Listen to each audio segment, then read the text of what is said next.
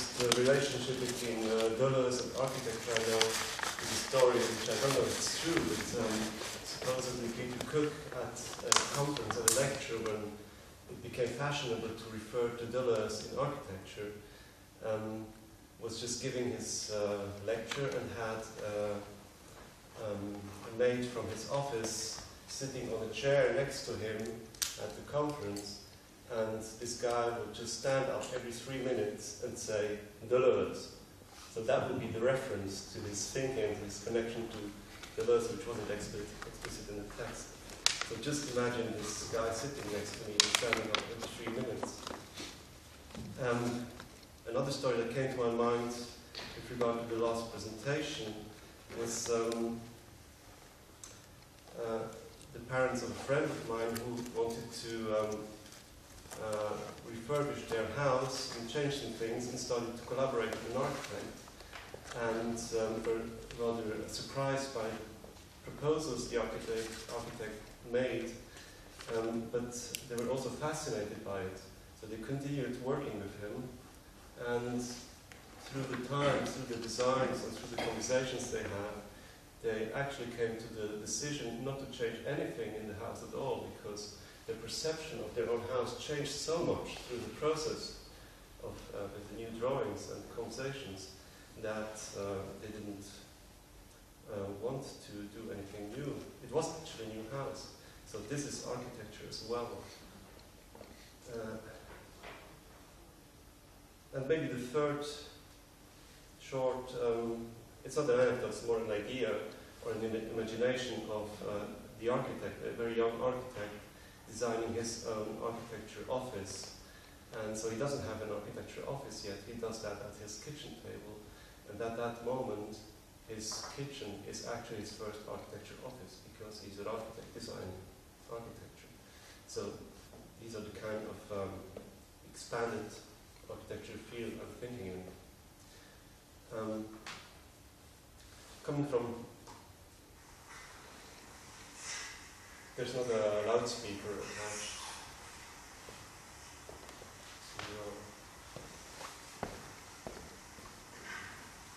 Coming from architecture and working in the field of art, I examined the architectonic through art practices and academic research. Rather than working with construction, in my work I searched to abandon destruction for an imminent form of absence. This questioning philosophical destruction including the concept deconstruction, is led by the invented and yet unknown notion of non-construction, exploring non-construction as a possible determination of destruction. The architectonic inevitably constitutes any work um, the architectonic inevitably constitutes any work whatsoever because human life activity is always interconnected with its place. And any place whatsoever as a product of human activity is always architectonic. Therefore, the architectonic setup of both artistic work and research, even if it's only a table in a room, becomes part of a manipulable, practical research setup, providing insight in the trove of, of the architectonic. Within these dynamics, the notion of non-construction seems to provide a philosophical tool of destruction. Non-construction replaces destruction and thus becomes itself destructive, since it replaces something. The difficult question is how to avoid the destructive character of non-construction and rather work with non-construction in an immanently non-constructive way. Hence, as non-constructive non-construction, or possibly non-constructive destruction, or even absolute destruction, or destruction as such. When reading, as a counterweight to the forces of the text which pull and push our knowledge, in this video, gravity is turned around by 90 degrees, resulting in a horizontal pull towards the wall. It is almost impossible to focus on a text under such, under such groundless conditions. Reading becomes like a first experience again that needs to be learned from scratch. I love to do things I don't know how to do. Here I was reading Bruno Latour and Vincent Lépinay's book, The Science of Passionate Interests, an introduction to Gabriel Tarde's economy, economic anthropology. With regard to the, to the text, the question was, what is the economy of this reading? And then, what is that which is not the economy of the reading? Ornament as the science of passionate disinterest is one of the practical research setups of my dissertation.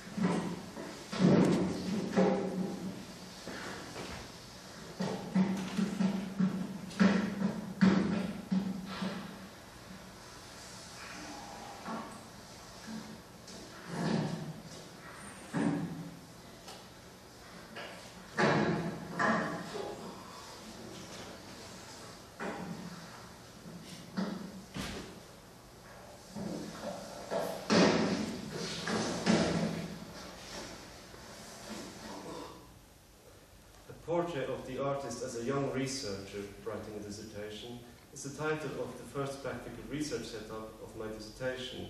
It departs from language as the principal practical means of dissertation making and puts it in the relation uh, to the space of dissertation making. I took the two meanings of the, the expression to write on a wall as either to write on top of a wall or to write about a wall and tested them simultaneously by building a wall and writing on it. The new wall was parallel to an existing wall with a distance of one foot. This is a reference to um, the Bruce Nauman's corridors. The writing on the wall was also a piece of writing about the wall, which was a reflection of the setup and its context. I quickly realized that I wasn't just writing, but also building on something in the same way that both the physical and the intellectual meanings of writing on something describe an experience of transformation that is related to knowledge, both the physical attachment of the new wall to the existing one and the rooting of thinking in these two walls relate to knowledge as building on something. If we transfer the two meanings from the example of writing on something to building on something, we get to build on top of a wall and to build about a wall. Hence, it is not only possible to write about something, but also to build about something. Indeed, every building, each architecture is building about something. If not about some external concept, then always about the ways of humans do things and about how things themselves are. Architecture is therefore always active and dynamic building, as both the noun building, as built matter, had the word building as lived experience. The process of building and writing is accompanied with a whole set of decisions that are taken on the go regarding shape and material of the wall, the tool of writing, the means of documentation, or seemingly irrelevant issues such as clothing.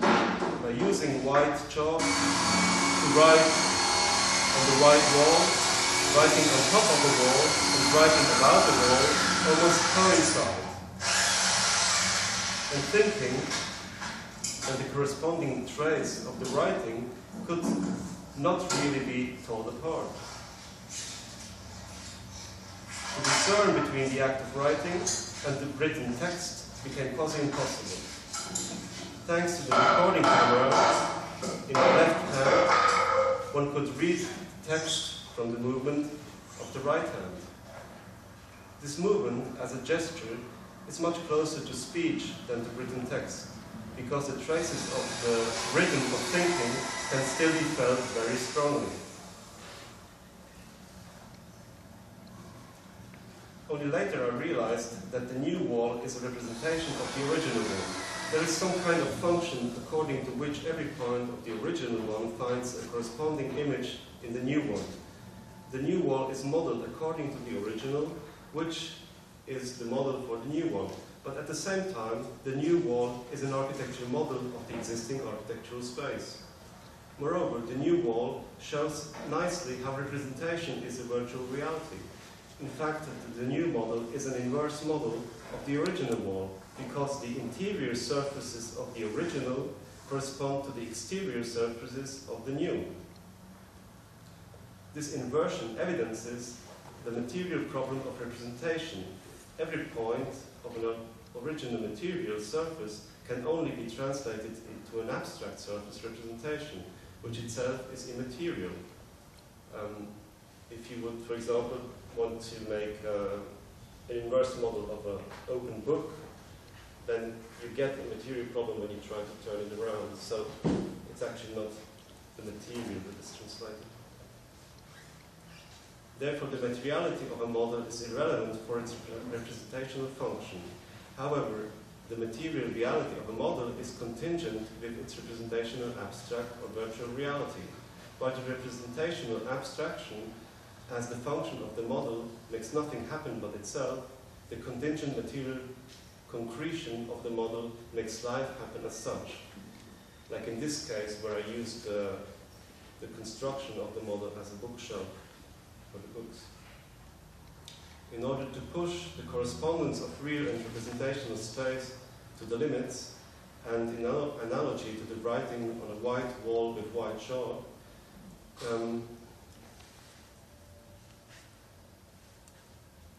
to create a contingency of building on top of something, with building about something, the practical research setup I dare here at the conference is the building of an inverse model of an existing space in scale one to one within the modeled space itself.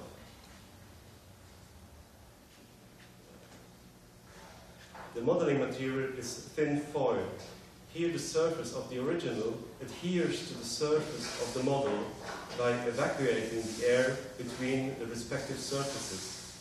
The vacuum makes the two surfaces merge, or rather, it allows questioning the notion of surface as such. What is nevertheless surfaced in this process is the new spatial reality of the model that corresponds precisely to the reality of the model space.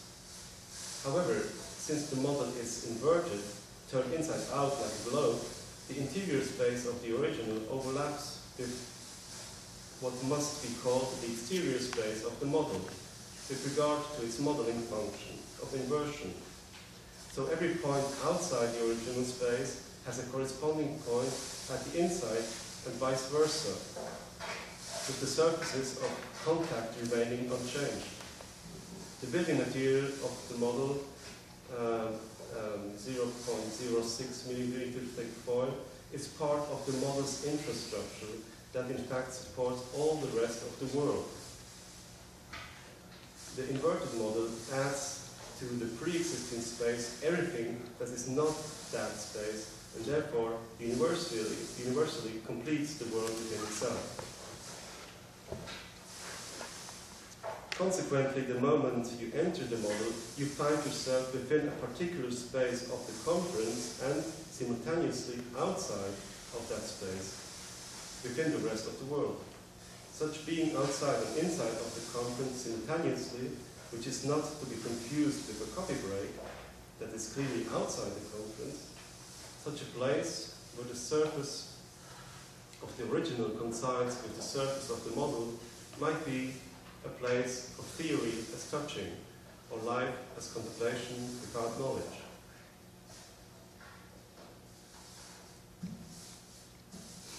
So I propose to go and take a coffee and meet in the space just below this auditorium and you can have a look at the beginning of the building of this model, which I will continue during the conference.